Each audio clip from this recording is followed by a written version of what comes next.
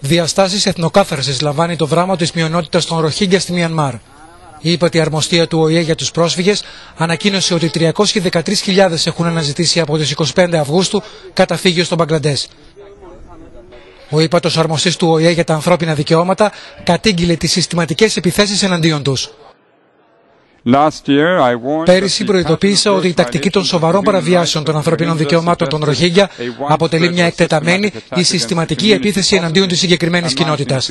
Πιθανόν να ισοδυναμεί με εγκλήματα κατά της ανθρωπότητας εάν το θέμα φτάσει στη δικαιοσύνη.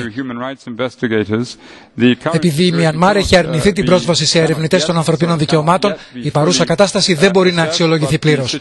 Όμως φαίνεται ότι κινείται στο πλαίσιο ενός παραδείγματος εθνοκάθαρσης. Οι Ροχίγκια αναγκάζονται να περάσουν ακόμη και από ναρκοπαίδια. Το Σάββατο τρεις άνθρωποι βρήκαν τραγικό θάνατο στην προσπάθειά τους να περάσουν από τη Μιανμάρ στο Μπαγκλαντές. Η κυβέρνηση της Αούγκ Σανσουκή δέχεται σφοδρές επιθέσεις από τη διεθνή κοινότητα για τη βία που χρησιμοποιεί σε βάρος των Ροχίγκια.